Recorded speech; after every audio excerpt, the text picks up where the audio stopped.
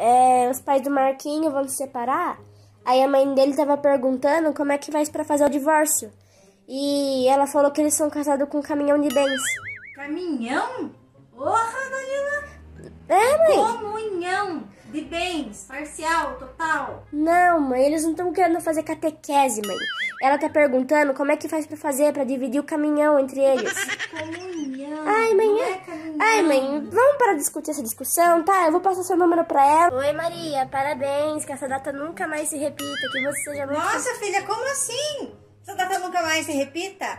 Dá a impressão que você tá querendo que a menina morra? Não, ai, mãe, você não tá entendendo, mãe. Como que ela vai fazer aniversário nessa mesma data?